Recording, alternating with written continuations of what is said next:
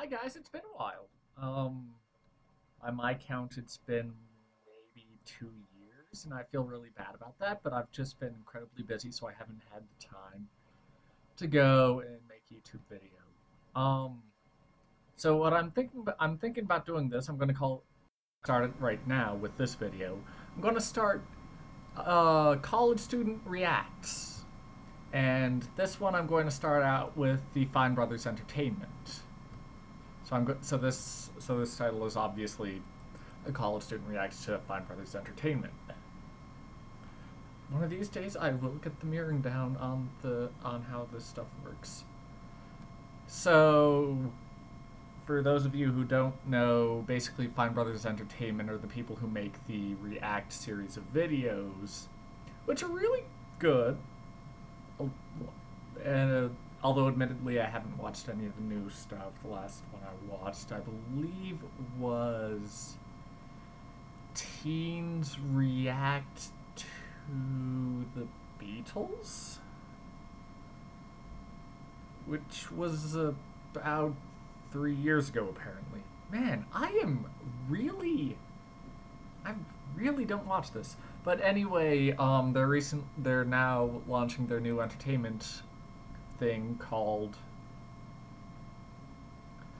um, a React World, where they have subgroups of people. So they've already got elders, teens, and kids React.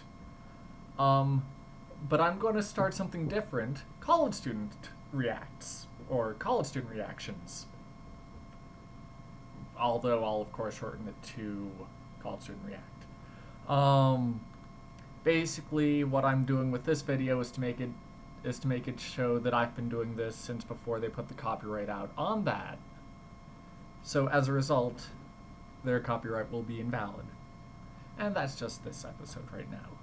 Ideally, I'll be doing this once a week, probably on Saturdays, Sundays, or Mondays. I have no idea. It all depends on the schedule. Although it's been slightly easier once I once I finish my capstone and all the upper division courses that I need. So I've only got five courses, two or three hundred levels. The other three are 100 levels. Although I do have to write an essay.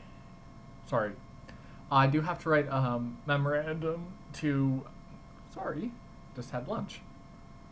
So, um, I have to write a memorandum to the person. Wow, I am tired. Also, I didn't sleep well last night.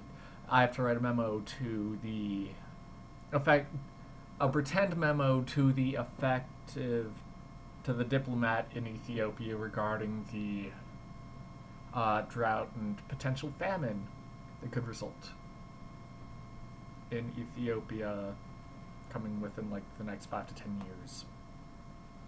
And that's for one of my classes, and it's really interesting, and I'm learning how the State Department memorandum format works, and it's really cool, and I feel like this is going to actually teach me something. Which is weird because when does when when does college ever do that? When does when do you ever learn anything in college?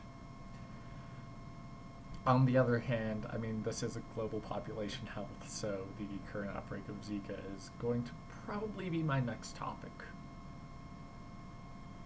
Bye.